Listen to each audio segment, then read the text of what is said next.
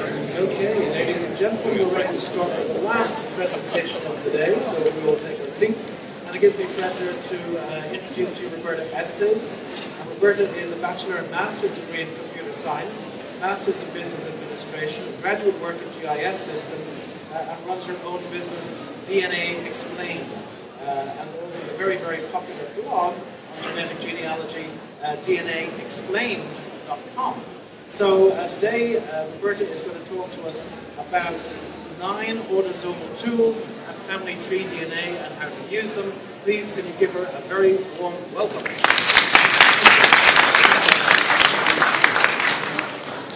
Can you hear me? Yes? Yeah. Well, the really good news is that we don't have any competition over here. Those sessions are over, so we might actually make it through the session without any uh, uh, audio-visual issues. Um, how many people in here have DNA tested? All right, has anybody not DNA tested?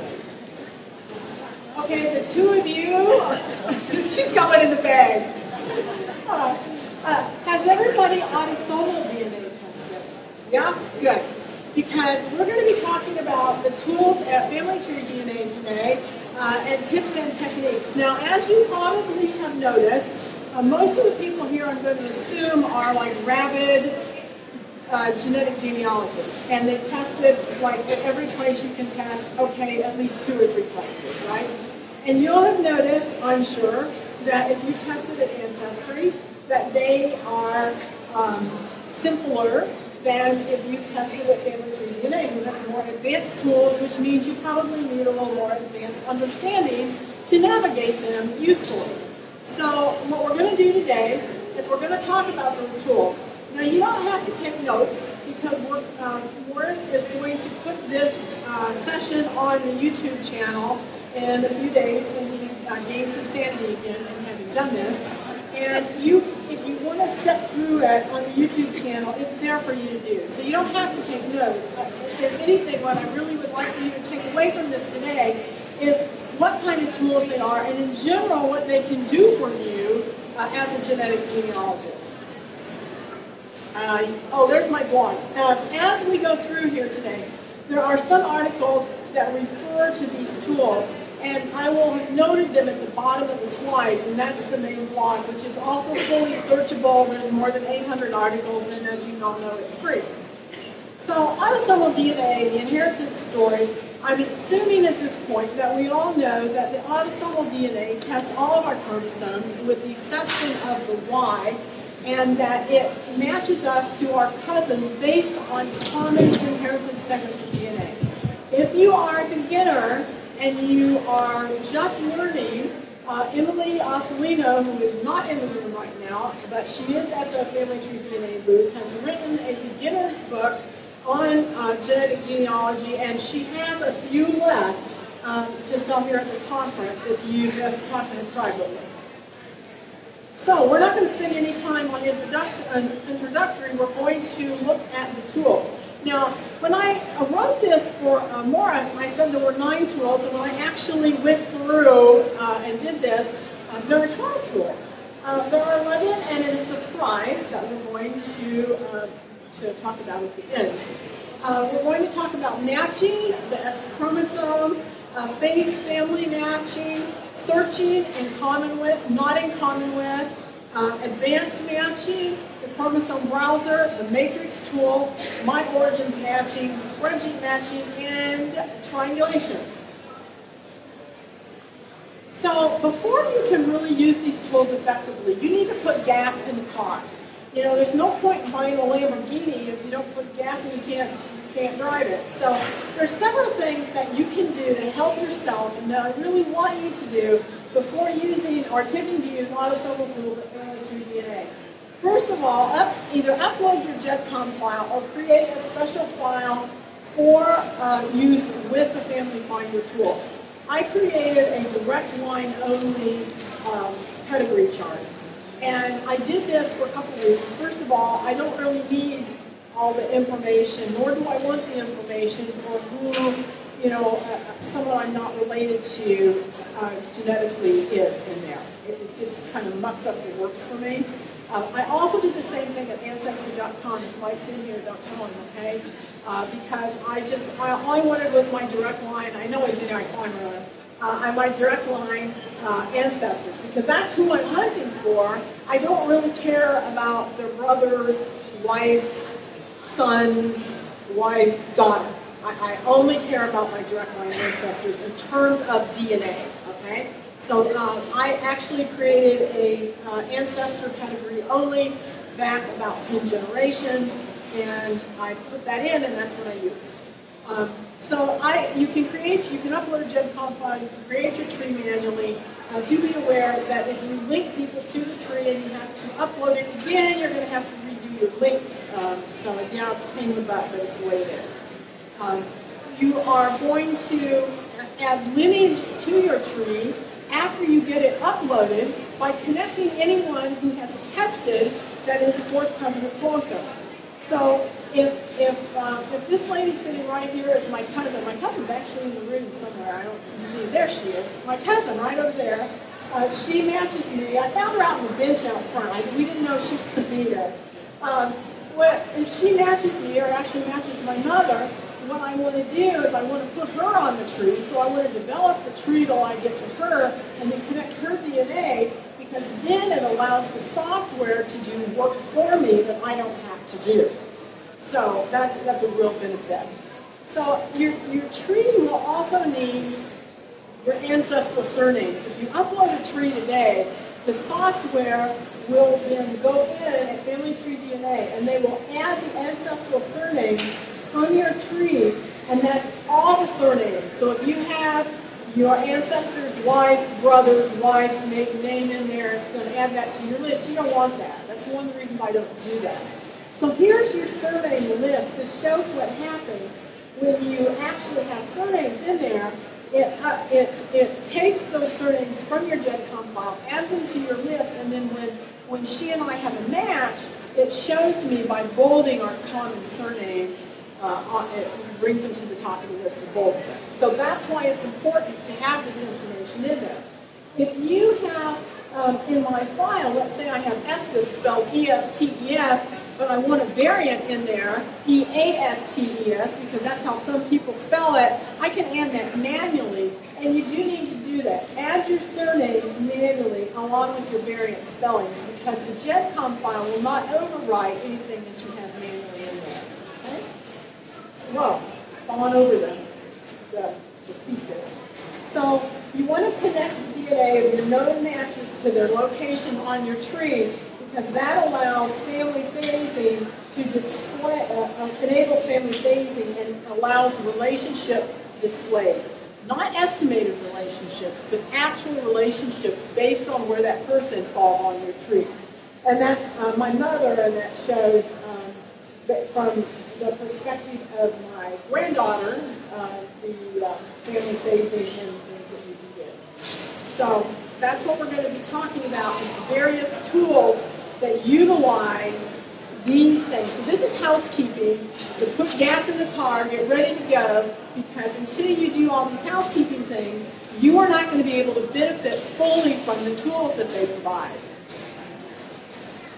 So let's look at options. All of the options um, for uh, Family Tree DNA are available at, at the top here with this uh, first red arrow uh, under the drop down. So all of your options, Y mitochondrial, Family Finder, whatever testing you have done are available there, big Y.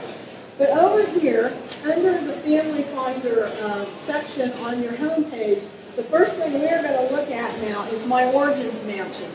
How many of you know that there is matching in my origins? Not very many. My origin has matching in there. And people don't know that. So let's look at that. Under my origins, when you, um, that's your ethnicity portion, of course, and when you go in and you look at the map, and you look at, you know, this is my uh, ex expanded version, here's where all my people are from over here. But at the left-hand side, under shared origins over here, if you opt in, and you do have to opt in, it's an opt-in, and what it will show you is all the people that match you on the same ethnicity. So let's say I'm looking for, you know, my, um, don't laugh, because, you know, I'm always making fun of people in there.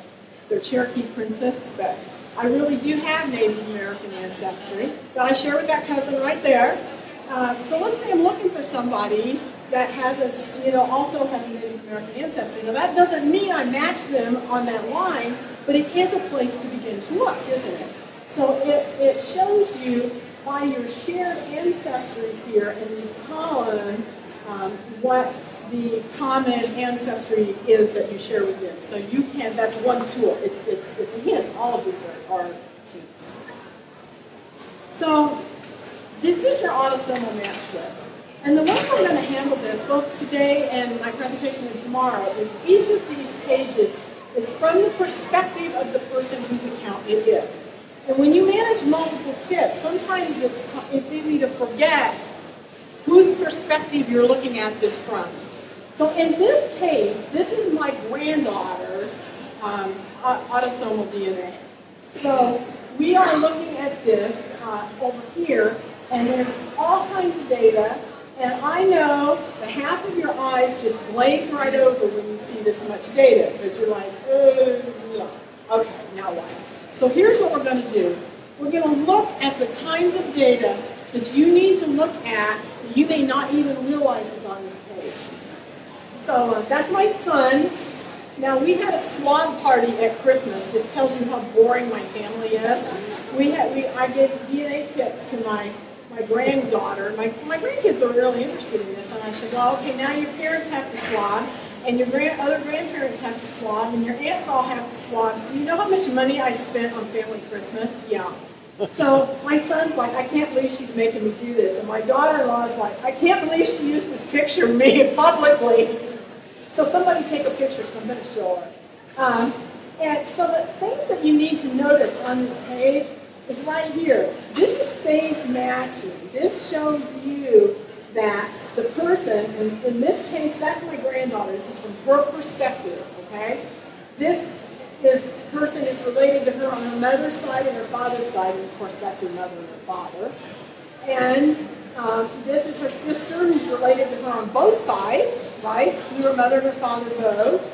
And her maternal grandmother, and that's me, the paternal grandmother. So these are the kinds of things that, that that shows you. And up here at the top, you can see that it, the tab, after you get everybody linked and connected, shows you how many maternal and paternally phased matches you have. Some won't be phased either. Um, this is your estimated relationship based on uh, an internal algorithm of total centimorgans and longest blocks. So they're estimating the range of relationships they think that this person could be. This relationship over here is a real relationship that's calculated based on how you have been connected in your tree. So that will tell you the real relationship. The X match has a special inheritance path that we're going to talk about here shortly. And then I looked at this, and I want to point something out to you. See that? It says mother. Does that look like my granddaughter's mother to you? So I emailed Family Tree DNA and I said, my, sex, my son needs a sex change operation. poor Richard, the CFR, emails me back and says, uh, but here's what I did. If you want to know why you have to tell them when you buy a kit what the gender is, well, these kits actually got swapped. I swapped my, my son's and my daughter-in-law's kit, and when I fixed it, I forgot to tell them to fix the gender.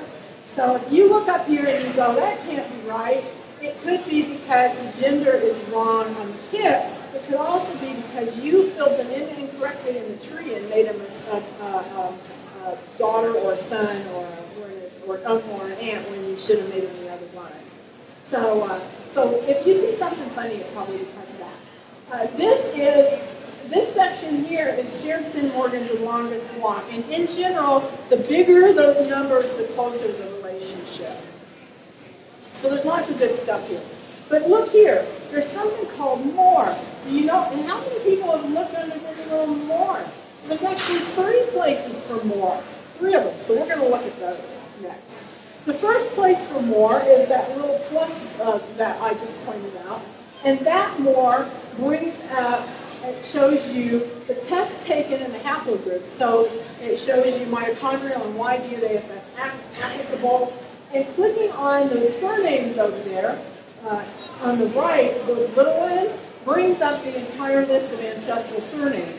Now, given that, of course, this is my granddaughter, uh, a whole bunch of them are highlighted, which is not useful, but it's my granddaughter, I really don't need to know those surnames for her. Um, and then the, you click on the profile over there, you also get additional information that you don't get anyplace else on Family Finder, including the maternal and paternal oldest um, relatives, the oldest ancestor. So there's uh, quite a bit of information there that's available. If you have something here, like I would want to put my blog, I might want to put an ancestry tree, I might want to, who knows what I want to put there, uh, another website, um, you could put under the About Me, you can put additional information. So always check there because you don't know what somebody's entered. Some people enter their GEDmatch kit in there. Let's talk about X matching, the X chromosome. You know, for a long time I, I said the X isn't the same. In fact, I have a couple, um, one called something like the Henri X, and I don't mean ex-wife, but, but the X is different, and people don't really understand that. In a nutshell, not only does the X chromosome have a special inheritance path that you can use very effectively to determine who is and is not uh, related, but it also, the centimorgans and the matching is different. Um, when you see an X on a person with whom you match a family tree DNA, it means that they match on the X in addition to something else that passes the threshold. So what that really means is if I match to somebody on a big segment and a tiny little sliver is an X, it's going to show the X also. So don't get all excited. Go into the chromosome browser and look and see how big that X chromosome actually is. It needs to be twice as big, rule of thumb, as any other for you to take it as seriously. So if your personal threshold that you're using is 7 centimorgans or 10 or 5 or whatever that is that, that's relevant in your mind, it needs to be double that on the X because the SNP density on the X is only half as much. So in the same space on the X chromosome, we only get half as many SNPs. So if, it, if your personal threshold is 5, then you're looking at 10. If it's 7, you're looking at 14 or 15. Okay? So if you um, the X is not mitochondrial DNA either. A lot of people confuse that because they know X has to do with female, but that's but and they think X and mitochondrial, but it's not the same. And I have an article. If you have people that are confused, uh, there's a blog article. X matching and mitochondrial DNA is not the same thing. because I have a lot of people that are confused. And by the way, the, uh, the way I write blog articles is when people say I don't understand this, and then I think, oh, well, I should write a blog article. So here's an X inheritance chart. Um, I use um, Charting Companion by Progeny Software to create these, and it's a, it's a reporting software that you just simply put on top of your, using it in conjunction with whatever software I use with matching. So, um, so what this does is it creates for you an inheritance chart for the X chromosome. So because of the male inherits the Y chromosome and does not uh, inherit an X from his father, he only has his mother's X chromosome. So we know, in my case, if I have an X match on somebody that's phased paternally, and it's a real X match, not one of the sliver matches that I mentioned, it has to come from his mother's side because he didn't get an X from his father. So any place that's white on this screen cannot have been inherited um, I can't share an X chromosome with that person. So if I have a legitimate X match, match it has to be one of these colored blocks in here. A, this is an extremely useful tool. I print this out. I have a printout of this, and I keep it where I can look at the matches and then look at that at the same time so that I can see who actually is a real candidate. So let's look at searching. That's your next tool here. Um, the default search uh, provides you with both uh, the current surname and a um, any surname that's here. So I put in Miller because the examples I'm going to use for the rest of this are on my mother's um, uh, paternal side uh, in the Miller family. So what you do is you put the Miller in there and it searches for anybody who has a surname of Miller or who has an ancestral surname of Miller. And it brings up those matches. So it's up to you then to decide if they're relevant to do uh, further research. So what I'm going to do is I'm going to select one of those people and I want to see who I have in common with. And this is, you know, I, I don't know if this is a bug or a benefit or a design flaw, but I'm going to tell you how it works, and you can all decide for yourself how that, how, what it is. If you put Miller and then you select somebody and you click in common with, what are you going to get here?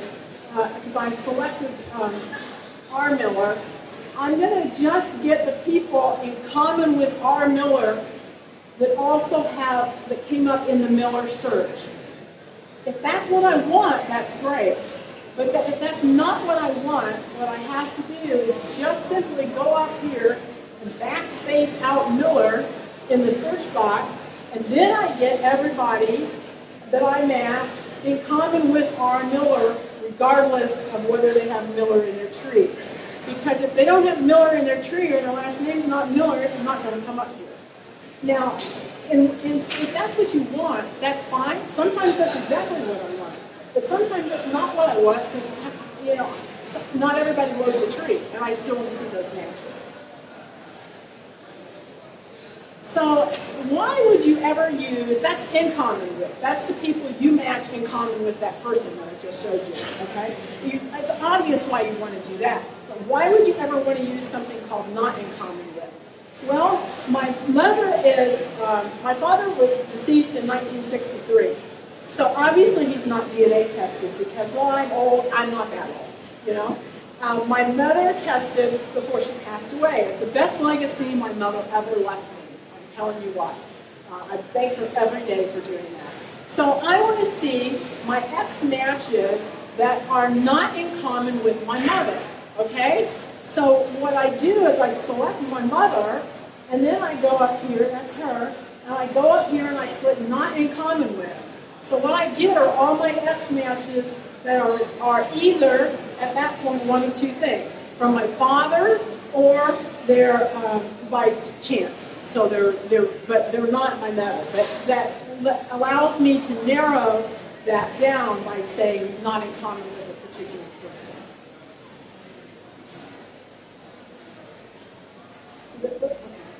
In common with is not triangulation. We're going to talk about triangulation in a minute.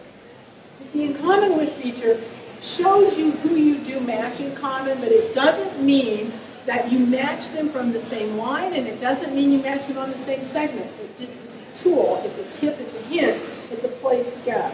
But you can see right here that these two people match in common with, I think it was my mother I was using at this point, but they, one is from um, the father's side and one is from the mother's side, but they do match the same person in common with my mother. So in common with is a tool, but don't take it to be more than it is. It's a great tool, it's, it's not the, the answer at the end of the rainbow. So let's talk about triangulation for a minute. How many of you are confused by triangulation? I knew that. Okay. Let me tell you two things. First of all, at the end of this presentation, I have, a, I have a great surprise for you. And second of all, I have an article coming out very, very shortly that is uh, titled, it's titled exactly. It's about exactly what triangulation is. And it's in light of the new, new tool that's coming. Um, we have an article that will be published today after this uh, session ends. Um, so don't go looking now. I want your attention up here. It's not out there yet. Uh, so triangulation is a technique. And what I use for this is an actual triangle because you match person A and B, okay? So I match my cousin back there, and I match this lady sitting right here. But if this, if this lady sitting right here doesn't match my cousin on the same segment that I match both of them on, then they're from different sides of the family or one of them is by chance. So triangulation is a tool that helps you determine whether your matches on the same segment are actually from the same side of your family and are legitimate matches that will help you genealogically. So person A must match person B and C on a reasonably sized segment. Do not go into small segments yet. I'm not telling you they're not useful someday, but most of us have enough larger ones, especially when we're starting. We don't need to deal with that, so stay away from small segments for that. At 500 SNPs or larger, that's because we want enough SNP density to also, uh, I don't want to use the word guarantee, but to, uh, to make it hopefully a legitimate match. Uh, person A, B, and C cannot be,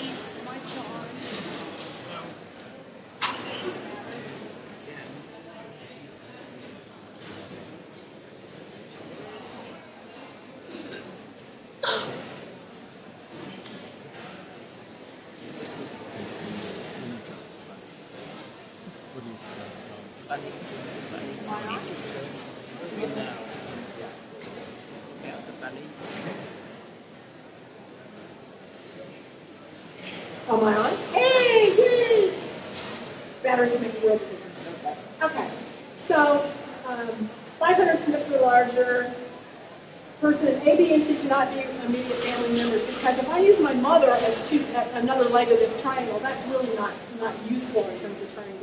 Trying to see if, if our common ancestor back in time is the same, not if I match my mother, I didn't know I matched my mother, you know. So, so don't, they can't be, they can't be related. People say, how close is too close?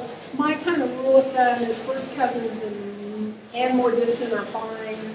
Um, you know, it's a rule of thumb. There are no DNA police, so there are DNA arguers, um, so you must match a con. You must find a common ancestral line. Uh, so if, if I'm trying to decide if we match, we may triangulate technically, but if we can't find a common ancestral line, it's really not a triangulated match. Um, the matches should have well-developed trees. The match should not be in a known pileup region. Go to my blog and you type pileup in the search thing in the corner, it tells you where all the known pileup regions are. An article about that. Um, so pileup region is where lots of people match just because they're human. Chromosome 6 is a segment, um, never mind, I'm just going to bore you. So um, eliminate these, eliminate or reduce the possibility that the common ancestor is from another line. So triangulation, you, you could, the smaller the segment, it's possible that you could triangulate and it could be simply happenstance, but the larger the segment, the less likely that is. So what we want is more than three matches in a triangulation group. I, three can work, more than three is even better because the more you get, the bigger they are, the more assured you are that it's legitimate. Phased family matches, in common with project matches and surnames, are all clues where to look. Let's say we all triangulate, but we don't know who that common ancestor is. All those other tools will then help us know where to look. So the next tool is advanced matching. How many of you even know this exists out there? Good, good. I'm glad to see that. Well, advanced matching is on that drop down that I showed you earlier. That's over on the right, but it's actually on your personal page, it's on the left. And what advanced matching allows you to do is select multiple um, uh, things like Family Finder and mitochondrial DNA, or to look within a specific project. And I use it for projects all the time because I administer like, I don't know, 20 something at last count. Let's say it's the Estes project, and I want to know, I allow people that aren't Estes males to join. I encourage everybody to join as an Estes. So I want to know within that Estes project who matches who. Or you want to know, because you might be an Estes and you join, and now you want to know if you match just within the Estes project. So that's what advanced matching does. It allows you to select multiple um, features up here and shows you who within that project match. Now I started a project called the Miller Brethren Project a few years ago because my Miller family was brethren, you know, like Amish Mennonite, okay? Well, this was originally was to sort out the Y line of that of that line. Um, but they're still brethren. No one wanted DNA test. Man, I had to go back and beg, and I actually got somebody. Now it's people have joined over the years, and not only do I have the Y signature, but now I can use it for autosomal matching too, and see who within that project matches. And that's what this is. You can combine in any number of ways. It's an extremely useful tool. Most people don't even know it yet. So let's take a look and see on the chromosome browser uh, what we have. But before I do that, I want to show you this relationship. This is on the Miller line. And the Miller, uh, you know, you, we talk about lines, but there's always a, an unspoken spouse because when you find out you descend from a couple, you can say I descend from the from the Johann Michael Miller line, but it's really the Johann Michael Miller and Susanna Berkdahl line. Okay? So here's how these people that are testing are all related. Now, I tested every one of these people, so I'm telling you up front, I have access to their kits personally. But it helps me a great deal because I can use the tool and then I can go in and verify that the tool is actually reporting correctly and things like that. So these people are related. All these people at the bottom tested. And this one's really interesting because look, this person, H.A. Miller, these people were first cousins. So he's going to have more Miller DNA than he should have for where he is in the tree if his, if his parents or his ancestors weren't first cousins to each other. I'm caught in something. All right. So here's the chromosome browser. And what we did is I selected these five people from the perspective of my mother, so the, the black background, I'm sure you all know, is the person from whom you're looking. But I want to draw your attention to chromosome 3 here because look, several people match my mother on a common segment here on chromosome 3. So let, uh, and that's these people that I selected from that line. So let's see what we can do with this. I downloaded um, additional information from that line, and we can see here, I, I, I color-coded them, and we can see here that these different people, there's three areas where multiple people match my mother.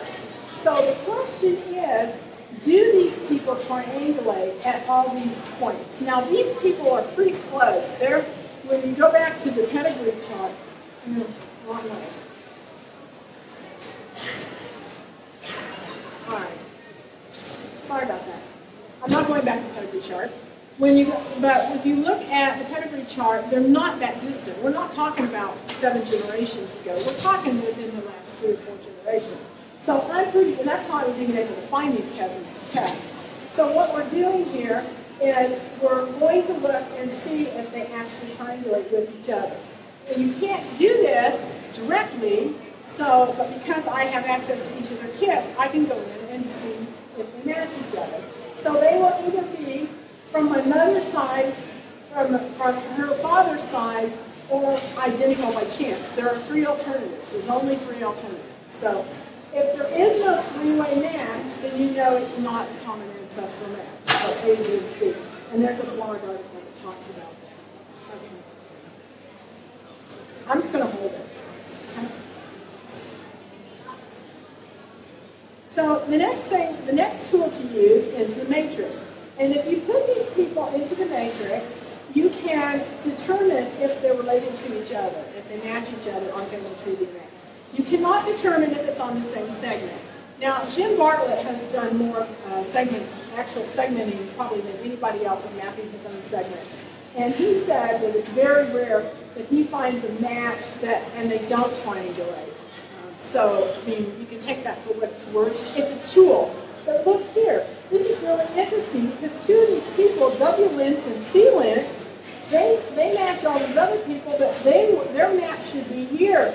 Their match isn't there. This says they don't match each other.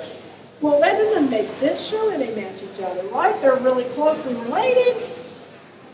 You think they match? I thought they matched. Well, how could they not match? I mean, that's a big statement. So, I've downloaded the data because it's like, that doesn't make any sense to me.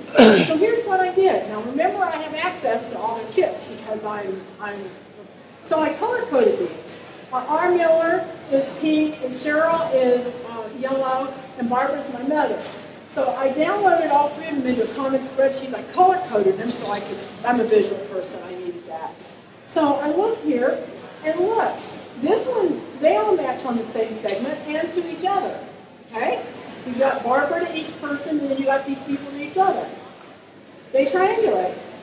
This one down here, they triangulate. This middle segment there, do they triangulate? No, they don't. Mother matches both of these, but these two, there's no match to each other. So the matrix was right. But what does that mean? Who knows? What does that mean? One is, she's got that right, one is from the mother's side, one is from the father's side. Now, one could have been by chance, except look how big these segments are. These segments are in the range 17 and 27. Those aren't by chance. Those just, that's just not something we've seen, uh, segments that big being by chance. So these are very likely one from my mother's side one from my father's side. But on these other segments, they do triangulate. Now, I did not expect that. So I didn't believe it. I went to great lengths to see if there was a bug, um, if there was something wrong. If I'm like, that can't be. So the next thing I really want to do is talk about, you may not be fortunate enough to have access to the data like I do, okay? Now, if you're project administrator, you have some level of access, but not everybody is. And if they're not in your project, you don't have access anyway.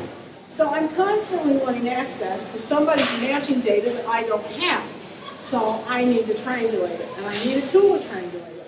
Now, a lot of people, some people, if they're interested, they'll reply and they'll, they'll provide you with their, their information, but not everybody does. So Family Tree DNA is working on a triangulation tool. Uh, Bennett announced that at the Jewish genealogy meeting, so I can say it publicly because he did. Uh, they are working on a triangulation tool. Um, it's been in the works for almost two years. Um, but there are also a lot of other priorities, like, you know, that big Y reprocessing that's going on? Well, sometimes the triangulation tool gets uh, slides down underneath whatever the next, um, the next uh, process is. So uh, today, I have a surprise for you um, and an introduction to make. Um, Goran, would you raise your hand and like stand up? I want you all to turn around and look at this man with his hand up, stand up, stand up. Because you cannot all rush him and kiss him at once, okay? You have to stand in line and take your ticket, okay? Because he has developed a triangulation tool that runs on the Family Tree DNA site, so you don't have to download, you don't have to do anything, and you don't have to take notes because the blog that is going to be published half an hour after the conference closes today has all the instructions in it you will need. So, yay, I want you to give him, this man, a round of applause.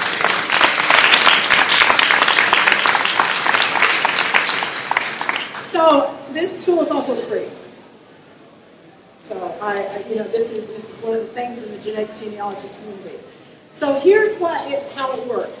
Um, and he will, before I forget to tell you, he will be in the Family Tree DNA booth off and on and around the conference tomorrow as well. And so I, I, want you to go out and buy more kits for all these people that you now want to triangulate, especially if the people you've transferred and they're not full transfers because there's not enough uh, DNA, you know, if they're on that Ancestry V2 or the V4, V5, 23 So let's look at what this tool does and how it works. Uh, what you're going to do is in the chromosome browser, uh, after you bring up your, your family matches, just like if you're selecting in common with a chromosome browser, you're going to select the people to triangulate. Except after you install the tool, uh, and it's literally a one-click install if you already have Chrome on your system. I use Chrome. There, he does uh, provide other uh, compatibility with other browsers, but I only used Chrome. So but it installs a little tab here on the Family Tree DNA site because it's a browser plugin. So what you do is you select the people to triangulate up to the five, just like you do any other time, and then you go in and you click on this, and there's a little drop-down box um, that shows you, gives you triangulated segments. You click on triangulate, and it shows you the triangulated segments. So I pick those same people, and this is what the triangulator tool looks like. It shows you the areas where they match in yellow, but the area where they triangulate is in red. And guess what? That same area is absent, isn't it? We have the first part of chromosome 3 right here, uh, the first segment, and the second segment, but the middle segment is also absent here. So this worked exactly the same way as my uh, manual uh, uh, triangulation that I did by downloading the various different people's um, spreadsheets. So this is a great tool. Um, he's been working on it for some time, and I've been uh, being a guinea pig, so uh, because I was really anxious to get it. It was a wonderful tool. Uh, and back the night that I uh, that he he, he was helping me uh, download. We were doing the early documentation stuff. I spent I stayed up all night. I mean, literally all night. When the sun started to come up, I made myself go to bed. I think you were online that night. Yeah, that's a night. Yeah, yeah. I'm like Maurice, you're up all night, but so are you. They're genealogists. So, what do you want to do to make the most of your autosomal DNA at Family Tree DNA? You want to test everybody. Test everybody you can. Test second cousins, buy those kits, take them to family reunions. Um, Christmas, that's a wonderful time. Test your grandkids too. Test your kids. Test them all. They won't necessarily help you in terms of going back further, but they will help you understand. It's a good way to pass this love on uh, as long as you don't inundate them with it. But my granddaughter has really been the key to this. She was actually going to be here to present with me tomorrow. She's a teenager, but it did not get some travel issues, and she was not unable. She was unable to do that. But it's a way to bring the next generation into this cycle when they can see something snazzy and real on browser, and it makes them excited. Um, transfer your results for 23andMe, uh, V3, and the Ancestry V1. It's the same chip as Family Tree DNA, so you get all your matches. Uh, you don't have to worry about only getting closest matches. Retest for uh, 23andMe version 4, version 5, which is the new uh, chip since uh, August the 9th, and the Ancestry V2 if possible. Now I say if possible, if some, you know, if someone's died or you can't get them to test again, then the best you can do is to transfer those in. Uh, but you only get your closest matches, and that's not because family tree DNA is being ungenerous, it's because the chip doesn't have that much overlap. They can give you all of them, so they're just upfront with you. You're only getting your, your uh, generally closest matches. Usually between 20 and 25% of the matches you would get if you tested on the same chip. Um, use all the available tools. Don't miss them. I have a, a, little procedure that I go through where I just step through, it's like a flight, pre-flight checklist. I just step through each one of these because you don't know what you're missing if you don't. So, you know, think about these and how to use them most effectively. Put gas in the car. Put a tree up.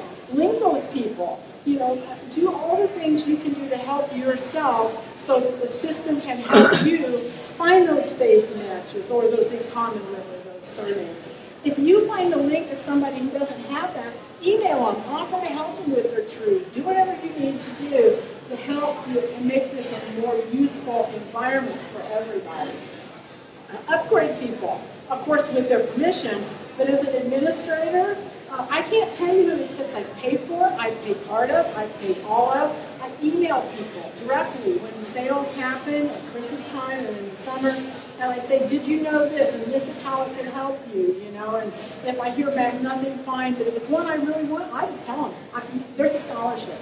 They won't take you up on it a lot of time if you tell them you're paying for it because they're embarrassed. But if you tell them I have a scholarship for this line, that saves the, the, the embarrassment. And who cares what you're paid? You've got the information and you're sharing it with them and they're willing, you know?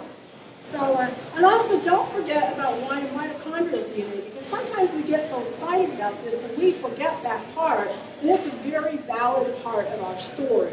So I have a standing offer for anyone who descends from my Y and mitochondrial lines, any of my ancestors that I don't have Y and, my, y and DNA and mitochondrial for, I pay for the test. I, on my 52 ancestor series, I say at the bottom of every one, there's a scholarship for this. And yes, I have paid for one. And I don't care, it's cheaper than any trip to the courthouse you could ever make if you got to go more than 30 miles. You know, and it's a very, very valid part. And more than one time, that's actually just two of my native ancestors that I didn't know who they were, and that's how you found those native ancestors was through mitochondrial DNA testing of lineages of that. So, uh, so don't forget about that. If, it's a part of your lineage too. Uh, have fun. This is about, you know, it's like we get so serious sometimes we forget to have fun. And so have fun and enjoy it and meet your cousins and and, and do all these things and bring it into the next generation. You know, we are on the cusp of leading edge technology. We're still on a frontier. We're all those pioneers that homesteaded, but we're homesteading the DNA that our ancestors gave us to take into the future so we can now work back to our farm.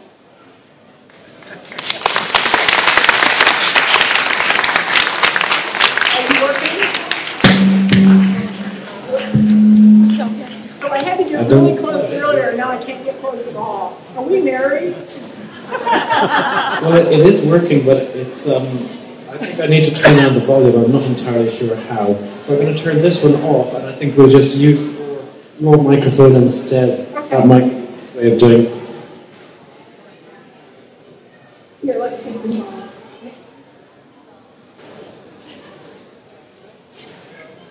Excellent extraction. Fabulous. Thanks so much, Roberta. That was really, really good. And what a wonderful surprise at the end. So now we're going to all be triangulating All night. all night long. Well, well, into the next morning by the looks of things now as well. Are you going to be uh, showing people like later at night? We're going to get thrown out at six, so tomorrow you'll be out somewhere near. You'll uh, help people if they need it, ask answer questions at the Family Tree DNA booth. Okay. So you can go there, by kids, see him, triangulate. Now, well, I have a question about that actually, because um, when you use the tool, it actually identifies very nicely a triangulated segment. What do you do with that? Do you still have to have the spreadsheet with all your matches in it, or how do you actually organize it once you've actually identified what is a triangulated segment? Gosh, that's a, such a good question. You'd think they set this up. Uh, he, uh, he has so generously provided us with a little download at the very bottom of the computer. uh, at the bottom here, okay, thank you. Of this, right here, you can download the uh, different segments that triangulate, and then you can pop those into your spreadsheet that you're keeping if you want to as triangulated segments, or you can just download them if you want to. But that's what I did is I put them in my spreadsheet. It's in the same format, exact same format. So, great question. Any other great questions? There is a question from Debbie here at the back, which, um, Debbie, if you come over this way, and we'll meet in the middle. There we go. You talk about identifying known pileup regions. What about unknown pileup regions? How do we know when a triangulated segment is likely to be a pileup region? Good question, and um, I'm coming back here. This is a big problem, pileup regions. How do you recognize them? Okay. Um, you know, the English, the language that divides us, I'm like, pilot regions, airplane pilot, um, pilot, okay. Uh, pilot, there are a number of published pileup regions, and that's what's in the blog. Um, there are, an, there's another type of pileup region, and Ancestry actually strips this out. That's one of the things that they do. They look at areas in your DNA that's too matchy. Well, let me tell you, some of those segments in my DNA that are too matchy are my Acadian lines. And those Acadian lines, there's endogamy in those lines. So I do match a lot of people, and you could consider it a pileup region, but it's a useful pileup region for me. Uh, in some cases, those, those people that I'm piling up with, I may, not, I may not necessarily recognize the lineage, but they're all from a certain part of the world. They're all from Germany, or they're all my Acadian line, or my brother line. So you can recognize a pileup region sometimes when you look and you see a lot of people that are matching you on the same region that may not have a discernible link back to that family. They may or may not match each other. If they don't match each other, then they're not triangulated. So you can throw them out immediately. Uh, but it's a really good question. But the ones that are documented are on that uh, in that article, and they're taken from academic papers, and they're areas when you start seeing matches. It doesn't mean they're entirely invalid, but if you have a pile, uh, match somebody on chromosome six in the area of the HLA region, which is documented in that article, and that's the only part that you match them on, then it's probably not a valid match because that's uh, part of the region that makes it female. So it- it's a really good question, whoever did. Okay, we have a question here from Jared. Sorry. There we go. Yes, we have um, autosomal tools, uh, which we went through there, but we also have Y and mtDNA, and we have big Y and so on and so forth. Are there any tools to make all of these work together? I think these are setup questions. um, he asked if there were any tools to make these work together. The only tool to make them work together is the advanced matching, and that doesn't include big Y, that includes just Y and mitochondria. So you can find out if somebody matches you both on the Y DNA and autosomal, which is another clue, or on mitochondrial and autosomal, as long as it's full sequence, which can be another clue. But there aren't any at this point other tools to make them all work together. And I don't know of any in the works. Other questions for Roberta? Okay. Um, I think I had a question, but I forgot about it. Um, are, you ever using Genome Mate Pro, for example? Are you still using Excel spreadsheets preferably? That's a really good question, too. Um, I, I actually have tried twice to use Genome Mate Pro. Let me, let me identify what it is. It's a tool that allows you to upload your matches from not only tree DNA, but Ancestry, although they don't provide chromosome data, so it's pretty much useless on Ancestry, and also from 23andMe, anyone who provides chromosome data. And they help you, they can't triangulate per se because they don't have the other side of the matches, but they help you with matching groups and um, ancestors and things like that. I've tried twice to utilize it. It's a very technical setup, and the, I think the installation book was 172 pages long. Uh, I didn't finish at either time. But here's my issue. I have been doing this so, uh, for a long time. I have in my spreadsheet that I didn't show you, but I could, I have all kinds of notes in columns to the right of these. Who triangulates, which a common ancestor, who else they match, uh, what we said in an email. I don't have any way to import that information that I've accumulated over all these years into GenomeMate Pro. So it might be a good tool for somebody who's starting out, but it is not a tool that I, because I would have to go in after that and one by one type all those things back in somehow. I don't want to do that. Um, two questions here. Let's have one here from a comment on, from Deborah? Yes, on GMP. Uh, Blaine Bettinger started a, a, genetic genealogy 2 uh, group on Facebook, and there is an excellent explanation of going step by step by step in setting up that software. I had not gone the way you did. I started from scratch on this, and I found it very helpful. So you use Genome Pro? Yes. And is it is it worth it? I think so, but I had never done the way you had done. The key is starting from scratch. Because once you've already started, then it's, it's very difficult. Um, I don't know if you're referring to Leah Larkin Perkins. Yes, it's uh, gene, uh, genealogy tools, tips, and techniques. Is that the name? Somebody. Uh, Leah Larkin Perkins did, was it nine steps or ten lessons? Uh, several, and it's archived. 12, 17 I'll raise you, yeah. But she did an excellent job of that because she went through step by step. So she took those installation instructions and then made them step by step, but there's still many steps. And like I said, I, I've tried twice and I'm like, no, it's not working for me. But if you were first starting, it might be. So I'm not, yeah. What'd you do? I stopped.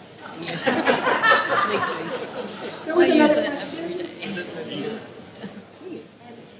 I've used GEDmatch Tier 1 and I've got an enormous amount of information and I really don't know where to go from here. Um, what, what is your opinion of, of GEDmatch Tier 1? Well, most of us use GEDmatch. I mean, because not everybody is tested the same company. And um, the people that do use GEDmatch tend to be more um, interested in, in this field. I use tier two because the tools that I find the most useful are actually in the upgraded version, you know, the, the for pay area. Yeah, that's a tier one. Yeah, the pay, that's the most. So I use those, I do use those all the time. My preference, um, is I like this chromosome browser that Family Tree DNA has better because I think it's more visual, it's easier for me to see. So I have some preferences that way. I like Goran's triangulation tool much better, simply because I think it's a very visual, it's very easy to see. And, and he, and you don't have to ask someone to download someplace else and things like that, because a lot of people aren't gonna do that, whether they're at Ancestry, no matter where they're at, they're just not gonna do that.